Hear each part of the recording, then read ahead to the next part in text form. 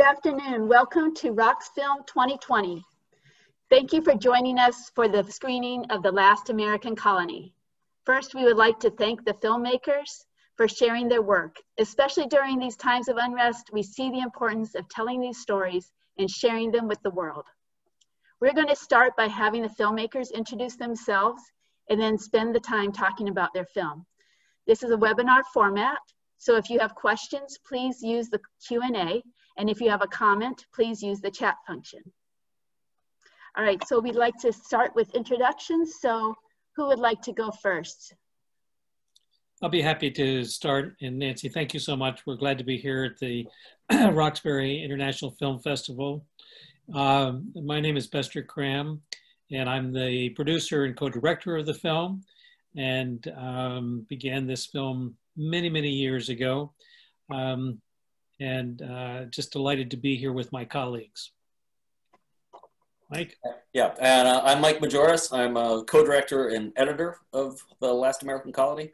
And uh, again, thanks for uh, making this possible. Um, you know, it's such a weird time, but it's great to be able to have this level of connection. And great to see my fellow filmmakers, which I haven't seen in a while. So thank you. Joe, you got to take yourself off mute.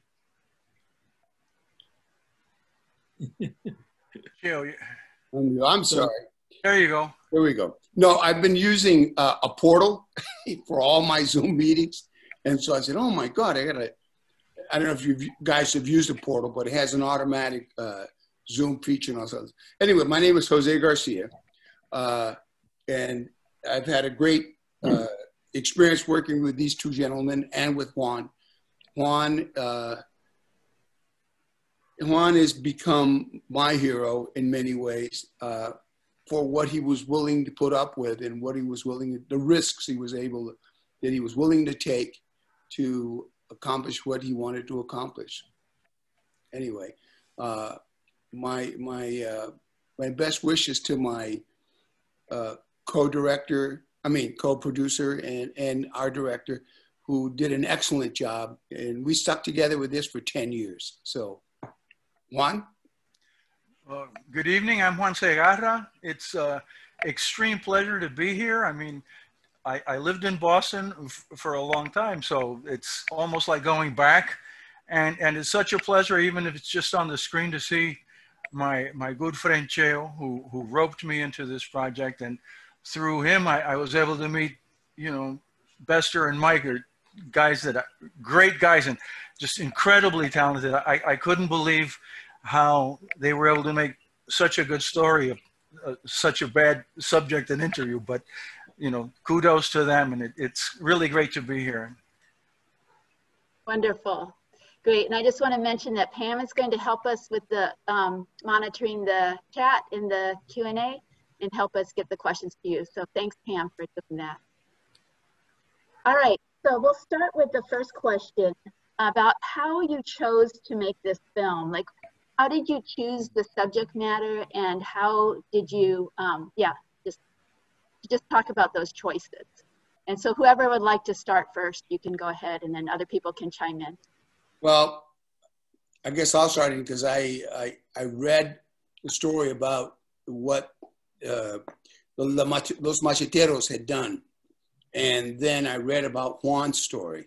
So I reached out to Juan and he said to me, well, why don't you send me what you've written, you know, so far. And we had fictionalized everything. My co- the, the other person I was working with at the time.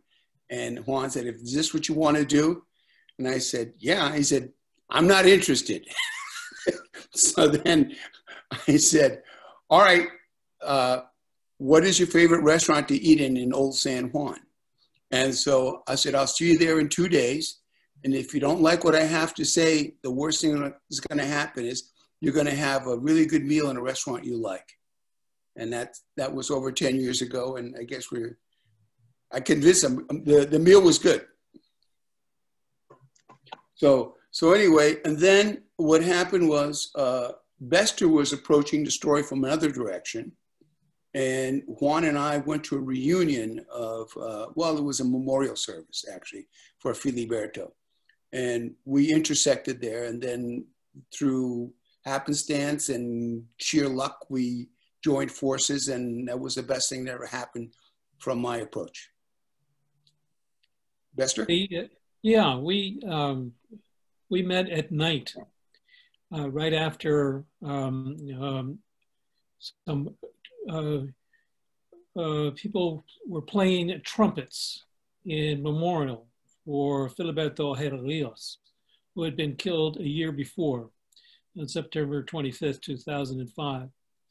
And uh, we had been down there because we had been filming throughout the whole year the upheaval, uh, political upheaval that was going on in Puerto Rico as a result of this uh, assassination uh, in which uh, the FBI brought in more than 200 people to 200 uh, agents to um, try to um, capture or um, kill Filiberto, who was a fugitive.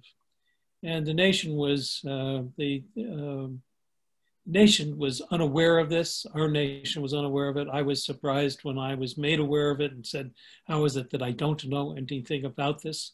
Why, uh, why is this going on with, uh, within the uh, decision making of Washington, D.C., and uh, we are completely ignorant of it. And uh, essentially, we were down in San Juan trying to uh, understand the upheaval that was going there in terms of the reaction to the killing of Filiberto. And so, at this anniversary of the, the memorial of anniversary of one year of his death, um, without knowing it, I met Juan and I met uh, Jose. I actually, Juan was there with his son, and I did some filming with his son, who uh, had actually had his life saved um, by Filiberto uh, when they were swimming when he was a younger younger man. And it was a touching story, and um, so it was one of the very few stories that I had connected to a man who had been killed, Filiberto. Um, and uh, then later on, I found out through uh, actually, you know, the small community that we all live in, in terms of the filmmaking community here in Boston, that uh, there was this other project going on, and that Cheo was a part of that. And so uh, we connected and uh, realized that, wow, actually, the story to be told was one story as a way for us to begin to get at understanding the notion of why we're, why I was so ignorant to life in Puerto Rico. Um, and I then uh, joined forces with uh, a colleague that uh, I've been making films with for hmm, 30 years almost, I think, right now. We haven't, not quite counting but Mike is, uh, is a uh, person that we have done work on so many different uh, subject matter. And he became as engaged and provided as much of the material that is in the film that really helps to flesh it out.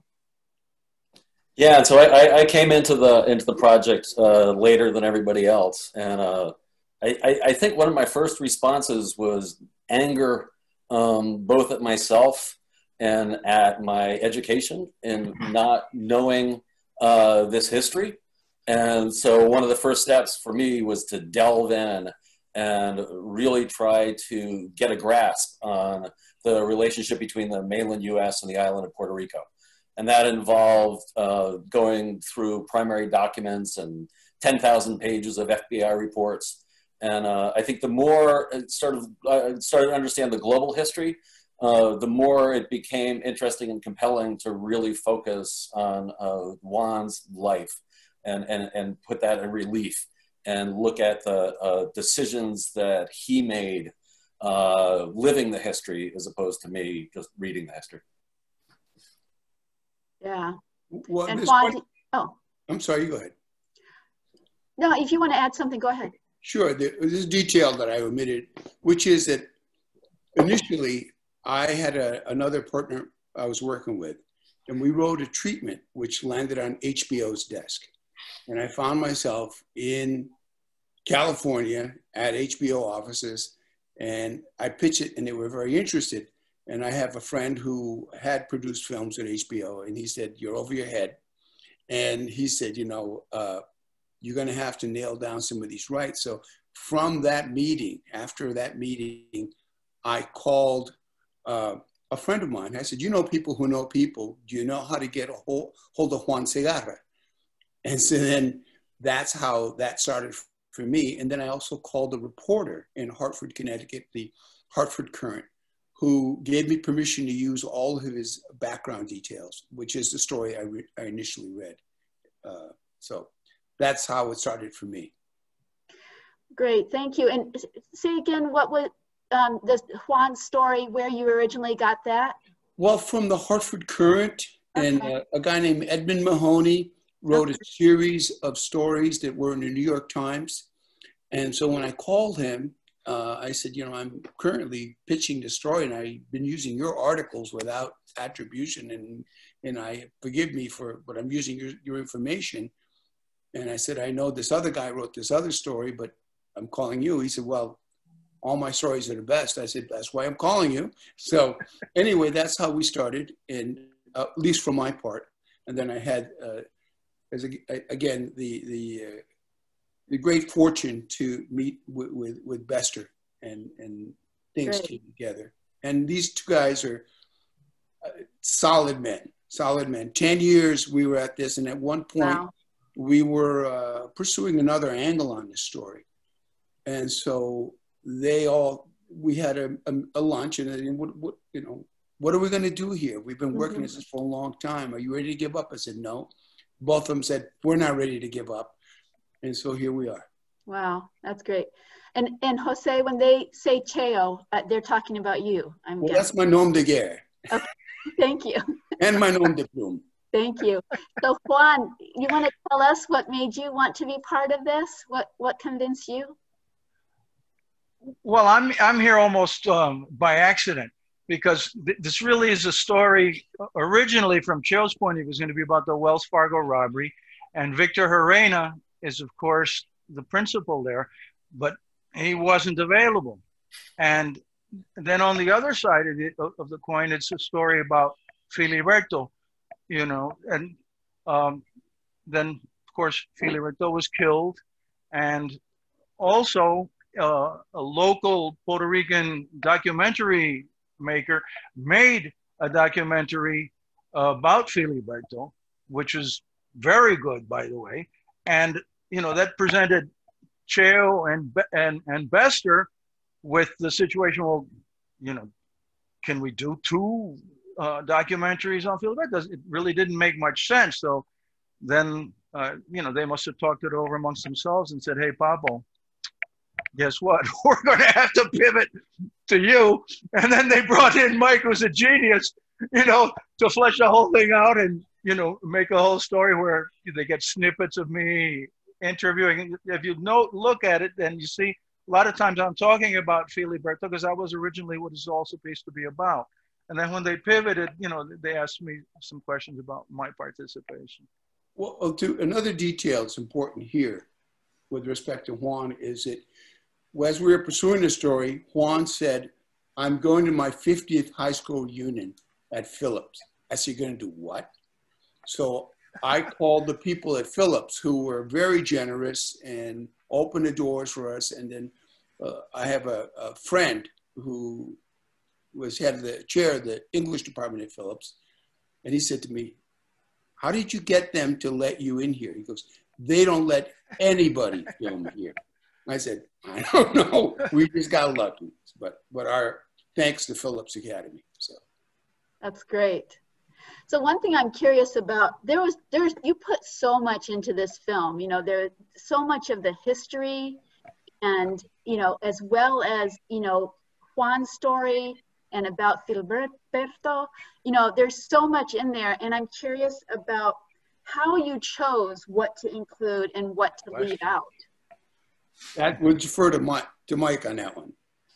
Uh, yeah, it's kind of a mini series in, in 90 minutes. Um, we, uh, uh, yeah, there's a, there's a, a lot in there, and, and the hope is that there's not so much that an audience gives up.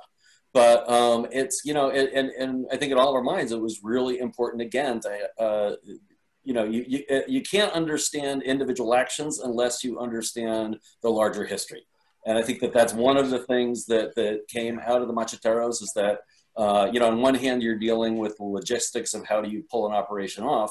But on the other hand, you're dealing with this, you know, this larger context, and, you know, both politically and socially and economically. So I think uh, the more that we delved into uh, the inner workings of the organization, uh, as well as the history, the more I think it became incumbent on us to try to incorporate as much of that information as we could get in there, and just hope that an audience would go along for the ride. And I think, and, and I think part of the mechanism, um, you know, film is a, a, in some ways a pretty stupid medium in my mind in terms of conveying information but it's a very sophisticated medium in terms of uh, uh, conveying emotion. And so I think what we hoped to do is to not only just give a, a you know a, a list and a, and a, litany of historical events and a, and a, list of what happened in terms of uh, uh, Juan's decisions, but also to give an understanding of um, why one is compelled, why a group of people is compelled, why Puerto Ricans are compelled to do this. So that was um, that's why so much is in there and there could have been you know another 90 minutes of material but uh, you know you have to make hard decisions to, to your point mike when i pitched this to hbo they said you know we don't think you have a film here we think you have a mini series i said yeah. a mini series we're not ready for so anyway but that's that's the kind of information that we were confronted with and then uh, opportunities present themselves as you're making a film. And I said at this luncheon when we were trying to decide what we were going to do, we were trying to figure out how we were going to get uh, Phillips to work with us. And uh, I said, you know, how, how do we convince him? And I said, well, it's a redemption story. He, uh, you know, Juan went to school there. He, he grew up in an upper class family, went there and then went to Harvard. And the question is, why does a man do what he does? And, you know, how do, how do we show that? And then he's come full circle. The fact that he's come back to Phillips, which is where he starts his story, his, his quest to find out about his own life. And as I've said in other uh, meetings, in the process of making this film, I discovered my own history. I was born in Puerto Rico and I grew up in the United States in Massachusetts. So for me, it was very personal, and it still is. Right. And Juan, I, I know in the film it talks about how you, uh, you what you wrote for your thesis it, uh, and the research that you did. And I'm curious, um, watching the film and seeing what ended up in the film as far as the history goes, what um, is there anything that you thought, oh, um, I mean, like, did you have any thoughts about like what got included and what got left out as far as what the film has in? So, you know, I was just so amazed by the, the the product that Mike came up with, and that he had actually gone and some of those pages from the congressional record that I'd read he when he did the research, he said, I, I, said, "Oh my God, this guy really went back in there, and somehow he got it." I was amazed at at, at, at that. And for me, um, that was the first bit of independent research I had done in my life. Um, most of my education, even though it was like extremely rigorous and, and, and very good, they, they, they didn't really teach us a whole lot of critical thinking. You know, it was um, you had to just digest what you were given and be able to play it back the way they wanted, more or less. You know, and you could show some some signs of you know interpreting a little differently, but basically they wanted you to give them back what they'd given you, and and that was the first opportunity to to see things you know in a way and be able to like uh, and it changed my my whole way of thinking about my own history. I mean, like Cheo said, he didn't know his history. I didn't either. I didn't either. Uh, so, but that opened me up a lot to wanting to learn more. It was a, a real eye opener for me. Um, and then the, my, my next research study was on, on why they dropped the bomb on Hiroshima. Because uh, this one was for one semester and the other one was, was, was for the other semester. And between both of those, they, they changed my way of thinking substantially. And that started to ferment, of course, then going to freshman year at, at Harvard, which was the year of the, the student strike, the first strike ever in, in history and, you know, with all of its aftermath. Yeah. So Do um, we don't have a whole lot of time, so I wanted to have an opportunity for you all to share anything that you would like to communicate to the people who've been watching the film. Um, like if there's any anything you'd like to say. Um, I have other questions I can ask, but I just wanted to kind of open it up a little bit because maybe there's something that you really want to communicate. Um, so yeah, I just want to give you that opportunity. Well, after a hundred years of, of uh, cultural domination by the United States, we Puerto Ricans still remain Puerto Ricans. We are, you know, we love the United States uh, for some obvious reasons and then some not so good reasons. But anyway, uh, we have remained, we have our own cultural identity, we have our language, and we have our music and all that that portends. Uh, and so the question is, why are we still neither fish nor fowl? Why are we, you know, not allowed to be who we really want to be? Would you talk to that, Juan? I'd rather just answer any question anybody might have. Yeah. Okay, I have some more questions for you. Um, what challenges did you face in making this film? Money. Wait a minute, doesn't Juan have some money left over? to that point, I, uh, people said to me, go ahead.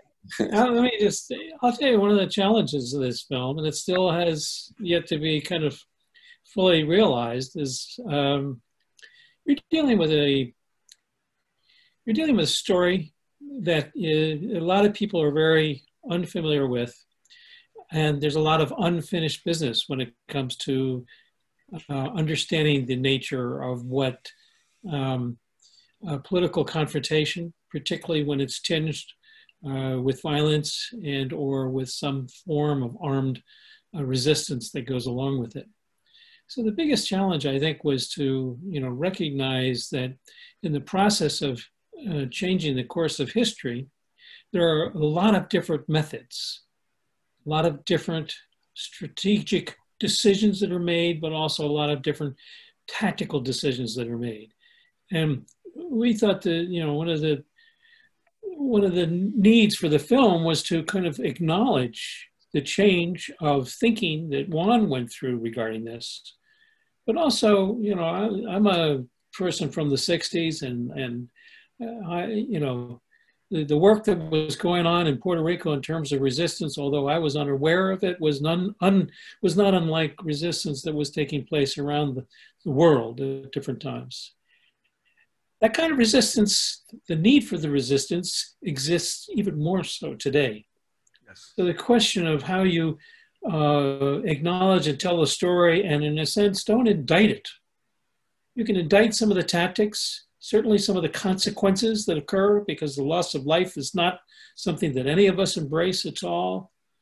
Uh, but um, the need and uh, understanding what is so difficult to break down in terms of some of the obstacles that have been created to become a more progressive and a more accepting society.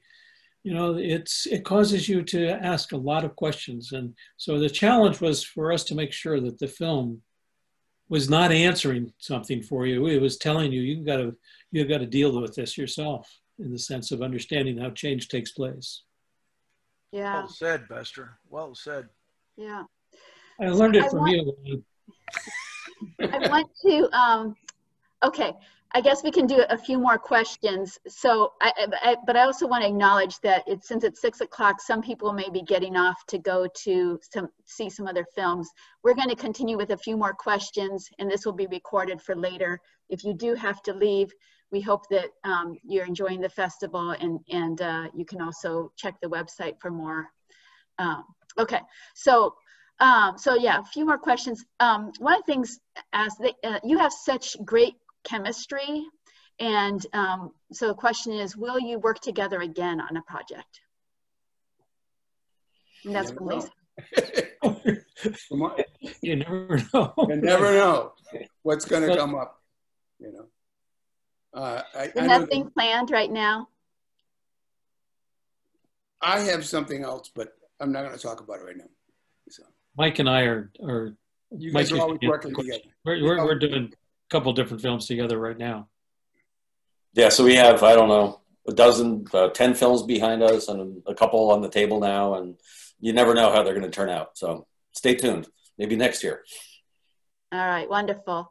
And what about Puerto Rico today with the current mm-hmm. administration and acknowledgement of the island? Um, you know, what do you have any thoughts about? I know you you did talk about the, um, you know, what happened after Hurricane Maria, um, and I'm just curious if you um, just with the current, I mean, even with COVID, the impact on Puerto Rico and you know other other things that have been happening of late.